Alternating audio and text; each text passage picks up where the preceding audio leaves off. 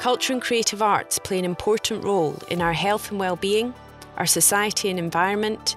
When we were founded in 1834, we set out to help and support our world by actively promoting a positive change in society.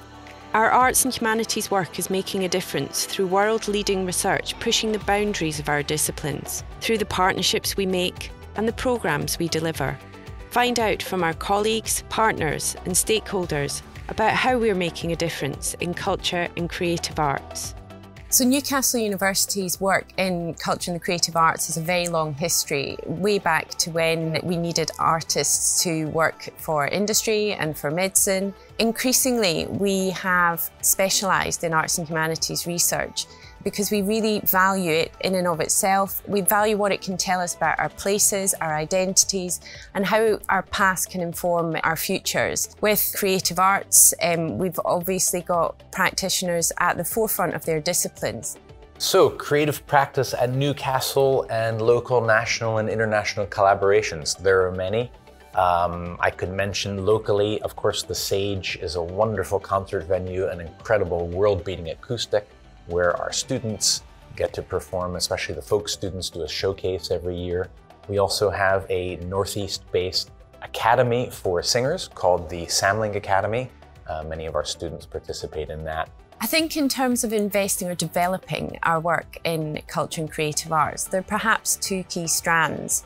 I think one is that at Newcastle we have a an amazing array of disciplines across arts and humanities, social sciences and science, technology, engineering, medicine.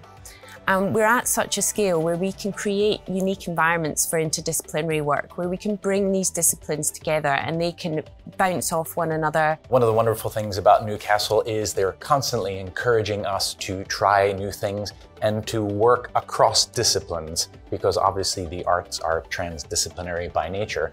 It's absolutely crucial, I think, to the university's commitment to its region and to its local communities that it has uh, these connections through its partners and with the work of colleagues recovering uh, people's histories and their experiences.